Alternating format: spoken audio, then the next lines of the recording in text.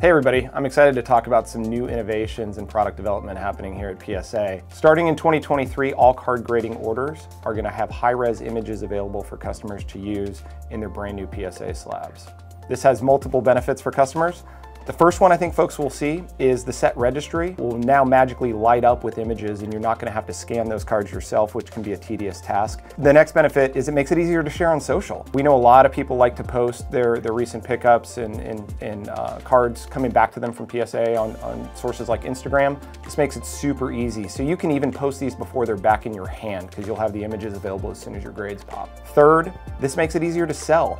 No more having to take, take a photo with your camera phone or get your scanner out at home. So if you want to sell these on eBay or in the Goldin Marketplace or any other place you like to, to sell your cards, you're gonna have these high quality images front and back available at your fingertips. And then the last is, is uh, security benefits. So when you're considering making a purchase of a PSA card, you can go to psacard.com slash cert, put in that certificate number, and actually do a visual confirmation of what you see in the listing matches what we saw when the card was in our building last, giving you extra peace of mind.